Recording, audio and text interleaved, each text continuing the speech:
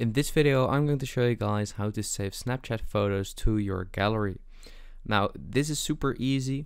Um, first I'm going to show you guys how to actually save a, um, a Snapchat photo you have already in your memories and then I'm going to show you guys how to do it um, automatically when you take new snaps.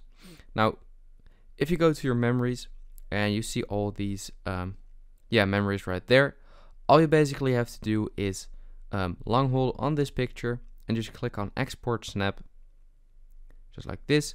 Then just click on save image and that that image will save into your camera roll or gallery.